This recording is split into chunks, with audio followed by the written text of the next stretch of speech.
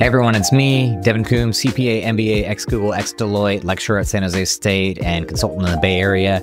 And today I got a question from a student about understanding PE versus PEG ratios, and I wanted to dive straight into it. The core concept we want to cover here is how do you determine if a stock is a good deal or if it is fairly priced? There are a lot of different ways that you can value a real asset or a financial asset. PE and PEG ratios are just two of them, but they are widely used tools by top firms and investment banks. So these are really relevant to your everyday practice and understanding for investing or any company or job you go into.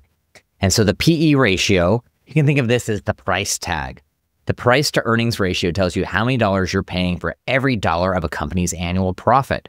You calculate this by taking your market price divided by your earnings per share. So an example here is if you have a $100 stock and it's earning $10 per share as its earnings per share, you would just take the 100 divided by the 10 and you'd get the PE ratio of 10. Seems simple enough?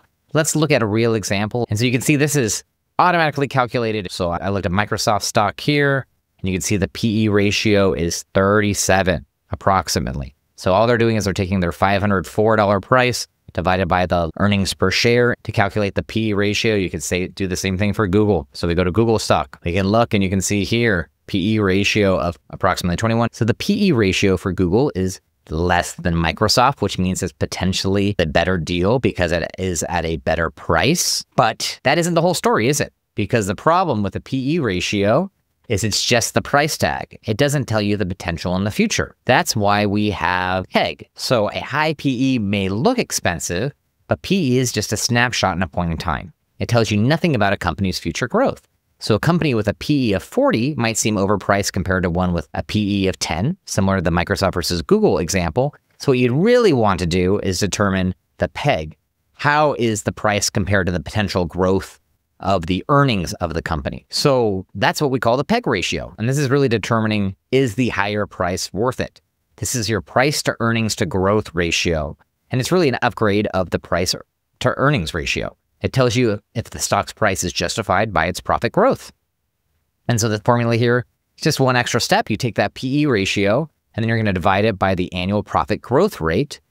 And this will help you have a barometer to figure out if the peg is a bargain. So if it's less than one, if it's equal to one, you could say it's fairly priced. And if it's greater than one, you could say that it's potentially expensive unless you can justify the pricing. And so let's see this in action. High growth can justify a high PE. So imagine a slow growth stock has a PE of 10 and a 5% growth rate. So even though it's a low PE, it has a really low growth rate. And so the peg of two means that you probably don't want to pay the price for this stock. And the way to think of this is this might be like your utility company, where the utility company might just be growing very slowly, a little higher than inflation. You don't really want to pay too much for them. While compared to, let's say, an NVIDIA, let's say a really high growth company has a PE of 40, but they're having a 40% year over year growth. That would actually be fairly priced, right? Like the price would justify the growth in the earnings. And so this is a good barometer to look at what the future value of the company will be over time rather than just the point in time of PE. But use both of these in your toolkit in order to determine if you are comfortable buying a share or not. I want to add one more concept in here before we get into the time value of money, which will be next week. These are theoretical valuation concepts. So even if you use a concept like PEG, price earnings ratio, you might pay something different. Just like you might buy a house that costs more than you think it is worth today because you think the value of it will go over time or there's sentimental value to it. Companies make the same kinds of purchases. They might pay more for a company because they believe it will have more synergies. They believe that they will be able to create something greater than the sum of their parts if they acquire these other companies or other companies have competitive bids out that are higher than the PEG or the PE ratios would indicate are fair.